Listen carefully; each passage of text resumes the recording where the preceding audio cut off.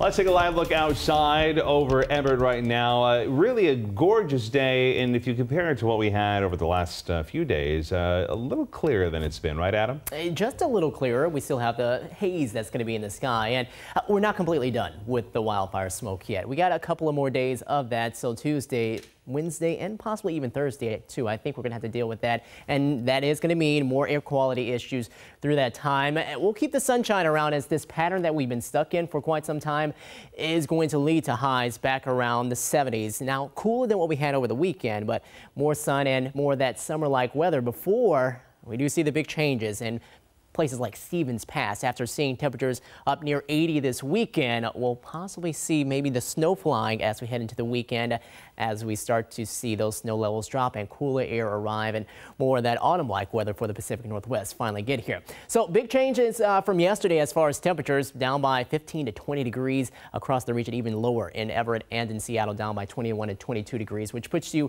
right around the mid 60s in Seattle. Everett, we're sitting at 62, 60 in Oak Harbor, 64 in Bellingham and a pretty uniform air mass, meaning a lot of 60s as opposed to seeing that wide variety that we were seeing the past few days.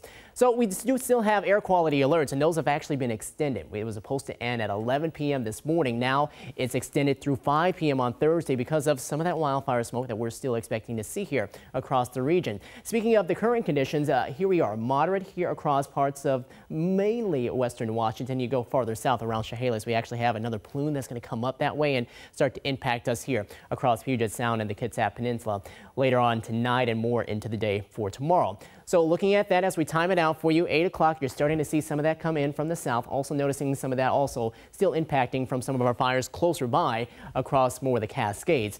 Here we are into the day for tomorrow. We start to see that take over a little more. Plus, we're going to see a little more of that offshore wind come back around heading into late Tuesday and heading into Wednesday. That's going to help to fan some more smoke over our way. So again, we're still going to expect these air quality issues for the next two to three days. SeaTac Airport, hazy skies, a little clearer than yesterday, but also home to that 88 degree high yesterday, which was a record high for the day. We're sitting at 66, clear skies, sunshine, winds coming out of the west.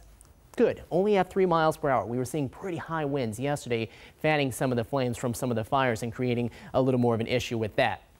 Looking at the satellite radar picture, we zoom out, you can see weak feature right here, that's moving north into British Columbia. We got another one right here out into the Gulf of Alaska. That's also heading north, and the system's not heading eastward. Why? Well, this area of high pressure has been strong and blocking a lot of them and directing them farther to the north. That's going to change. We're eventually going to see another system right out of the Gulf of Alaska and head south right into our area late into the week.